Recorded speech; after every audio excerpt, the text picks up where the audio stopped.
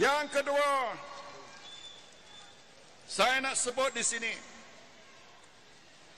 adalah aku janji kita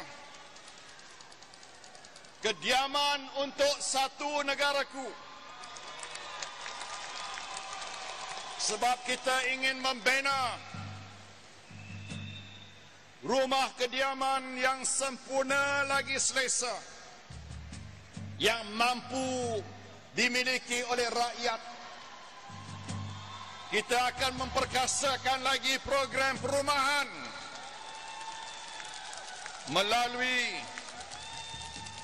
satu langkah baru yang ini mewujudkan satu agensi perumahan negara satu super agency di bawah satu bumbung untuk mengendalikan program-program pembangunan perumahan seluruh negara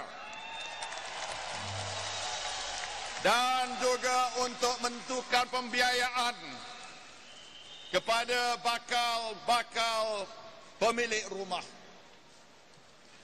Langkah ini akan dapat menggerakkan pelaksanaan program-program perumahan kita dengan lebih lancar dan berkesan.